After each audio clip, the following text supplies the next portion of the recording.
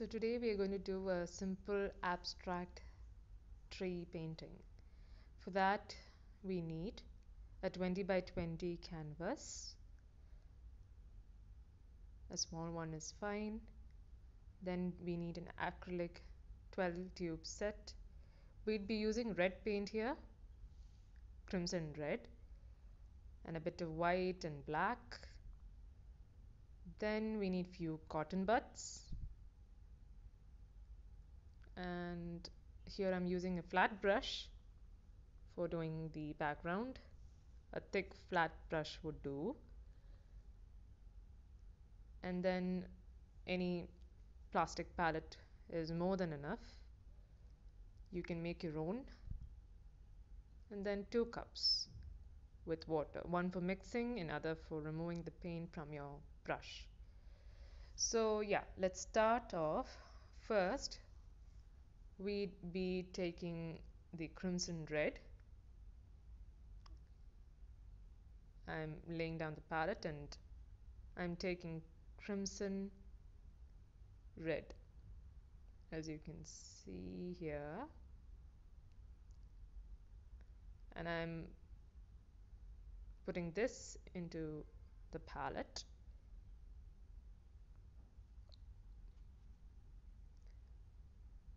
then I'm taking white titanium white is the color name. Since mine is over I bought a new bottle and yeah that's white. And then you can add black. That's for the tree trunk. The main colors are red and white so black as you can see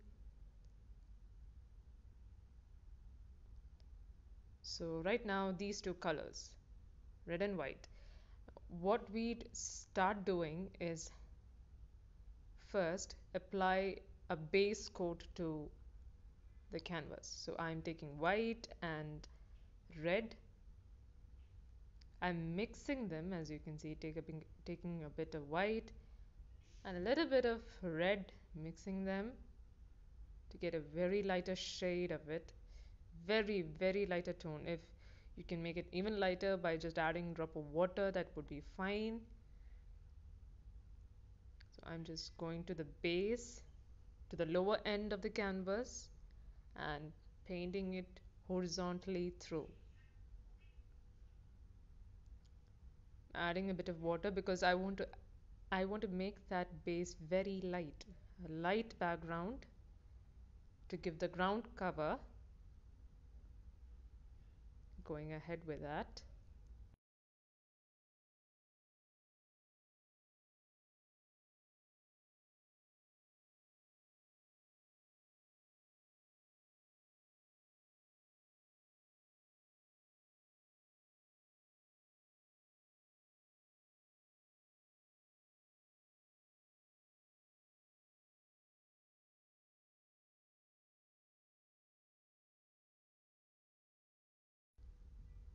Now I'm taking a few uh, cotton buds as you can see, four or five would be enough.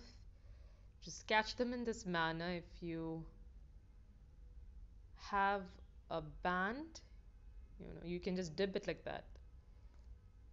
So catch it in this manner. If you have a cotton band, just tying it with a band and holding it in the same manner. Make sure that these are leveled. You want to level them if you see one of the bud that has you know just gone in. Make it level. Okay, once you make them in proper level, like all the buds are leveled, take the palette, dip it in the red paint. Just dip the tip as you can see over here uh, I'm just dipping in them. Look. And just you know taking the whole paint around. And I slowly start off to do my foliage the tree leaves. I start from the center slowly just dipping it through. Dark from the center going lighter towards the edges. Darker there lighter here.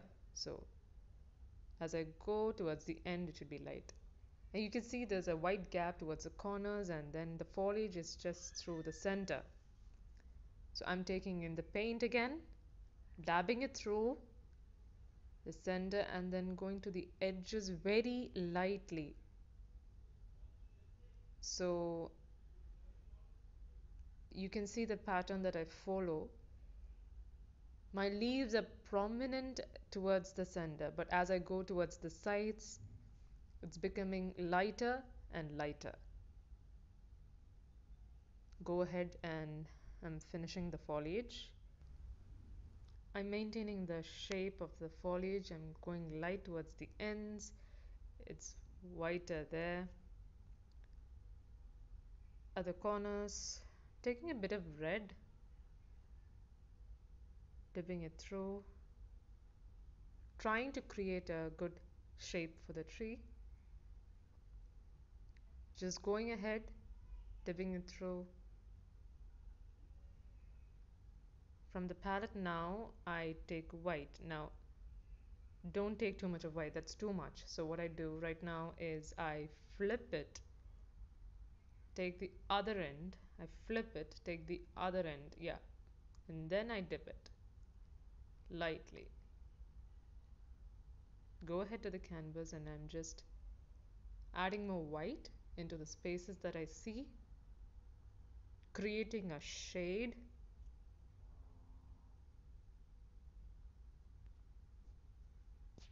You can follow the same or you can follow your own intuition in making a tree foliage. It's an it's just an abstract tree so go ahead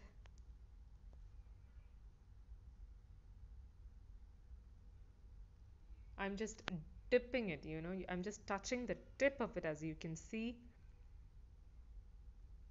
Just just slightly touching the tip. So that's how you create that sort of an effect.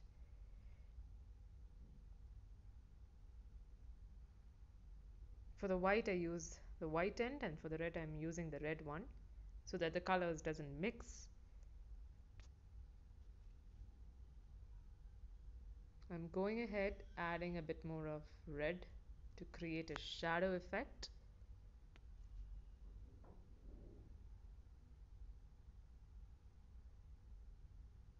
So as you can see my tree has got its lighter shades uh, the foliage has got its darker shades it's darker towards the center. And somehow now I'm almost quite happy with the result that has come so I'm going ahead and doing the trunk. I take a thin brush thin tipped brush taking black a nice huge amount and then starting from the bottom straight up. I'm, you can see how I'm holding my brush. It's stroking. I'm not holding it any other way.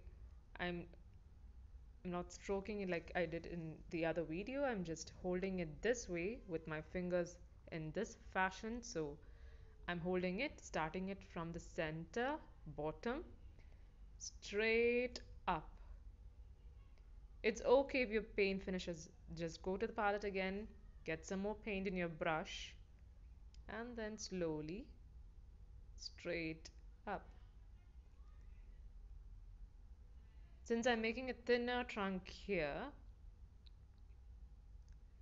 I'm, I'm, I'm just increasing my base to get an effect thicker.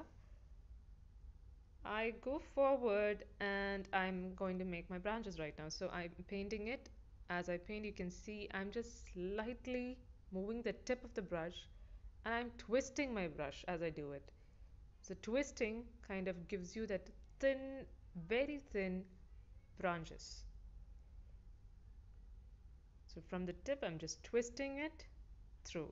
Always wait for it to dry even if it is um, a bit wet. The colors can get muddy. So wait for the bottom layer to dry and then go ahead with the trunk.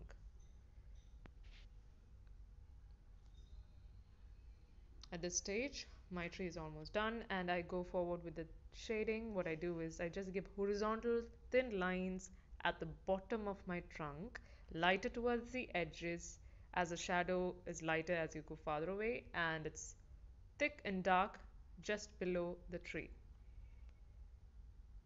Just few lines of that would, you know, bring that tree life.